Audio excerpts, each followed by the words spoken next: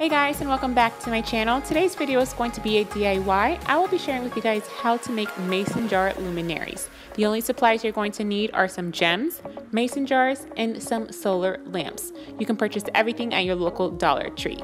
So as you guys can see, I already removed the centerpiece from the top of my mason jars. Next, I'm just going to remove all of the gems and place them inside of my mason jar. Next, I am going to remove the top part of my solar lamp and place them in the center of my lid. They will fit right in. You might have to squeeze them in, but they will fit. I'm just going to repeat this for all three of my mason jars and that will be the end of this DIY. If you guys like this video, please remember to give it a big thumbs up and if you have not already, I would really love for you to subscribe to my channel and I will see you guys in my next video.